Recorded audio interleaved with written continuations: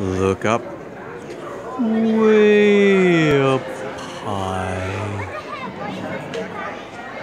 And kind of puts into perspective just how big this thing was.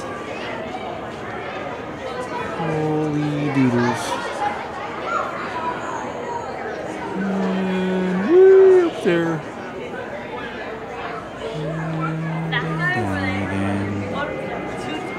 Then we go. Same thing on the other side of me.